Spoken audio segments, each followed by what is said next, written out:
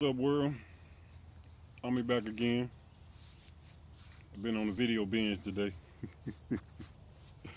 anyway, the title of this one is My Journey with Christianity. I grew up in the Bible Belt in the South, Columbia, South Carolina. And uh went to church. My parents took me to church Sunday, Wednesday, and Friday. And sometime Monday night for prayer service. And being young, it sounded like a, a good message, you know. But as you go to school, as I went to school, and then go to church, you can't help but notice that what's going on in the world and what the church talking about is two totally different things.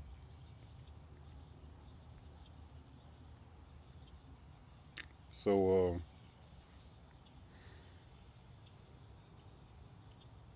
one memory I have of, going to church is tarry service. Now I know black people gonna know what I'm talking about. Uh, I don't know. I guess it depends on what what uh, denomination you in. But tarry service is when you know, they'll have an altar call, and anybody who wanna who wanna catch the Holy Ghost, they'll take you to a back room, and you'll basically close your eyes and repeat Jesus, Jesus, Jesus, Jesus, Jesus, until you caught the Holy Ghost. It was a sight to see. You know, people crying, snot coming out like they nose hands in the air, Jesus, Jesus, Jesus. When I was 12, I caught the Holy Ghost. Yeah.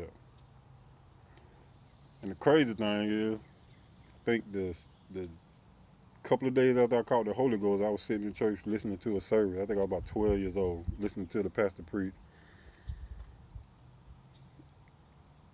And in my in my mind, I was thinking, you know, this religion stuff, some of this stuff is just as crazy as what they telling me in school in history class, what people used to believe.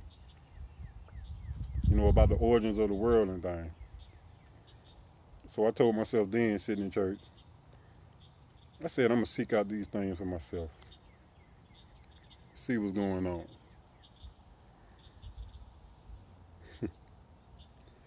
So let's fast forward to high school. I'm a quiet dude. I don't talk much, especially back then. I wouldn't have dreamed of doing a video and putting it on the internet. But uh, I don't like being in the crowd. I don't like standing in front of the crowd speaking, especially. But being in the crowd uh, make me antsy, make me make me make me itchy anyway, I was sitting in class and people around me having a debate about religion. I don't know, some other crazy stuff. I decided to interject because the dude was saying smoking is not a sin. And I was like, yeah, it is. And he was like, where? Show me in the Bible where it said. And I thought, I was like, well, damn, I don't know. And that made me think back to all the time I've heard a preacher stand up in the pulpit and say smoking and drinking is a sin. That threw me off. and that was one of the few times I tried to speak up about, you know, religious things. So, let's see, let's fast forward some more years. I was in college and I was in the library, I found a book this thick about Christianity, about the history of Christianity.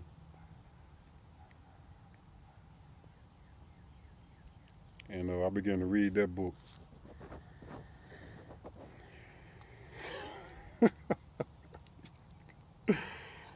I couldn't believe what I was reading, man. The history of Christianity is crazy. All these wars that was fought in the name of religion. people getting killed just so you just just for reading the Bible and trying to translate the Bible to the masses. I'm sitting there thinking in my head, now why isn't this stuff taught about religion?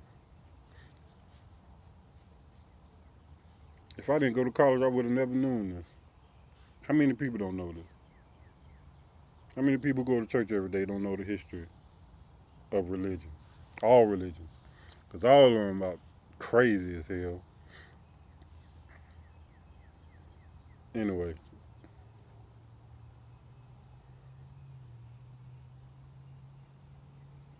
Yeah. Religion is crazy. That's just my thing on it.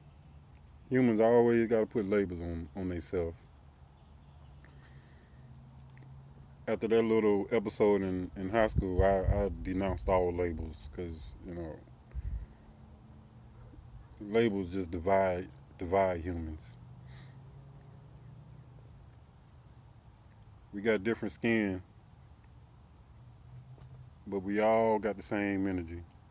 Well, we all come from the same energy. And even if we didn't, we don't know what the energy looked like because all we can see is with, with our eyes. We all bleed the same blood. People putting these fake ass labels on them. Stuff like that make me want to crawl back in my shell again. Anyway, that's where I'm at with Christianity and any kind of religion or label.